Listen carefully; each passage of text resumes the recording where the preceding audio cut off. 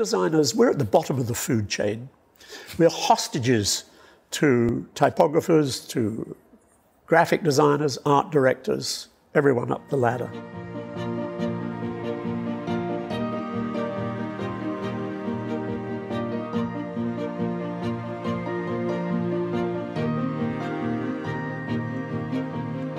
How do you make a font?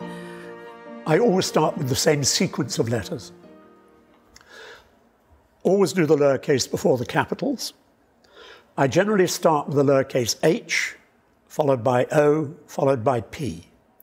Reason being, H is a straight sided letter, more or less.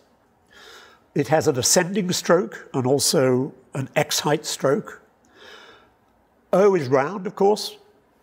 P is sort of half of one and half of the other, and it has a descending stroke. So I've got a lot of the metrics in just those three letters. It's like sort of DNA. Um, I can look at those together, how they relate. Very basic things. Does it have serifs or is it sans serif? Uh, what are the, you know, what's the thick thin ratio? All those things can be, I don't say they can be finalized, but they can be studied just with those three basic letters. If you've got an H, you've got a lot of information about M and N and U. If you've got a P, you've got BDP, Q, and so on. So you can extrapolate from one form and build more from that.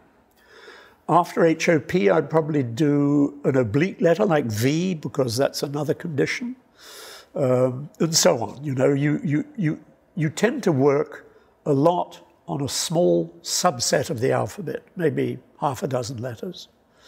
And it's only when you're fairly confident about them, their forms and their spacing, that you do start to build it out.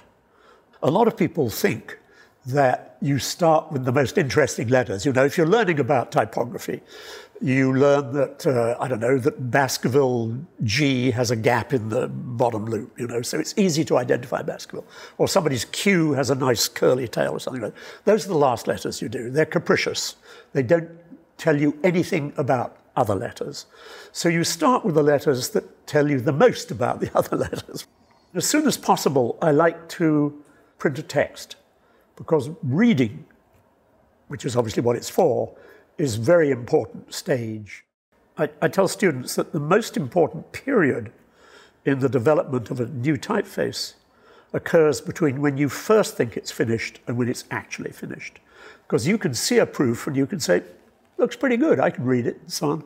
But at the same time, if you're honest with yourself, you kind of say, you know, I'm not quite sure that this is right. You know, what happens if I change this or I change that? No, it makes it worse. So, you know, change this, see what happens, and so on. So you go through a, a period that requires a lot of patience and perseverance, where you are really sort of testing yourself. For me, it, it's all dependent on what it was supposed to do and does it do it? And, you know, type designers, we're at the bottom of the food chain.